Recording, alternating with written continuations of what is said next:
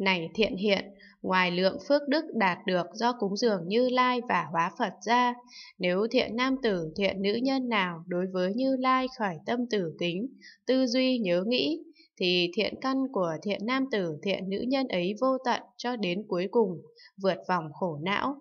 Này thiện hiện, ngoài lượng phước đức đạt được do dùng tâm tử kính nhớ nghĩ như lai ra, nếu thiện nam tử, thiện nữ nhân nào, vì cúng dường Phật cho dù chỉ dùng một đóa hoa tung lên hư không, thì thiện căn của thiện nam tử, thiện nữ nhân ấy vô tận, cho đến cuối cùng thoát vòng khổ não. Này thiện hiện, ngoài lượng phước đức đạt được,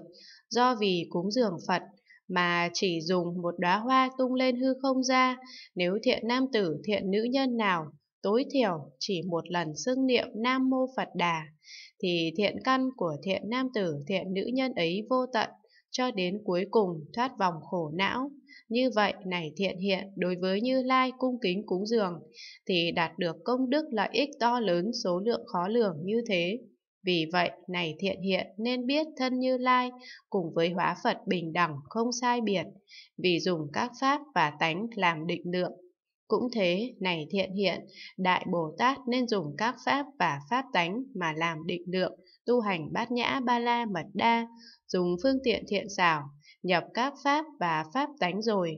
Nhưng đối với các pháp chẳng hoại pháp tánh, nghĩa là chẳng phân biệt, đây là bát nhã ba la mật đa, đây là pháp tánh của bát nhã ba la mật đa, đây là tịnh lự, tinh tấn, an nhẫn, tịnh giới, bố thí ba la mật đa, đây là pháp tánh của tịnh lự, cho đến bố thí ba la mật đa.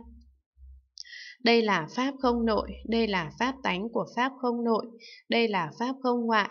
Pháp không nội ngoại, Pháp không không, Pháp không lớn, Pháp không thắng nghĩa, Pháp không hữu vi, Pháp không vô vi, Pháp không rốt giáo, Pháp không không biên giới, Pháp không tản mạn, Pháp không không đổi khác, Pháp không bản tánh, Pháp không tự tướng, Pháp không cộng tướng, Pháp không tất cả Pháp, Pháp không chẳng thể nắm bắt được,